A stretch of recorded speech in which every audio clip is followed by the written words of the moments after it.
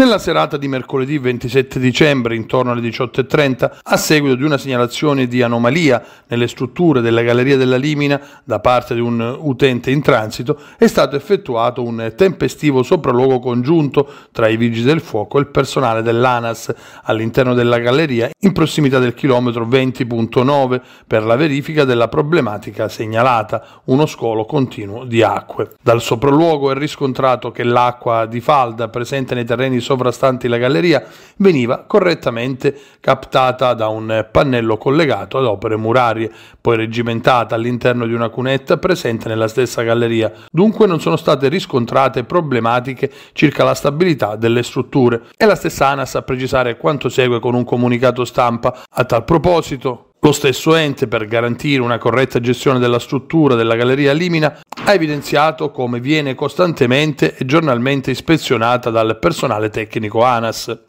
L'ANAS dunque conferma che sono in fase anche di ultimazione le attività di progettazione necessarie per definire l'intervento po' esteso per la messa in sicurezza di tutta la Galleria Limina, intervento che si realizzerà con interruzioni del traffico prevalentemente in orario notturno e prenderà avvio dopo le procedure formali di approvazione del progetto e comunque entro il prossimo mese di marzo 2024. Sicuramente dopo questa precisazione hanno tirato un sospiro di sollievo molti automobilisti preoccupati dopo i falsi allarmi dei giorni scorsi per la tenuta della struttura della galleria.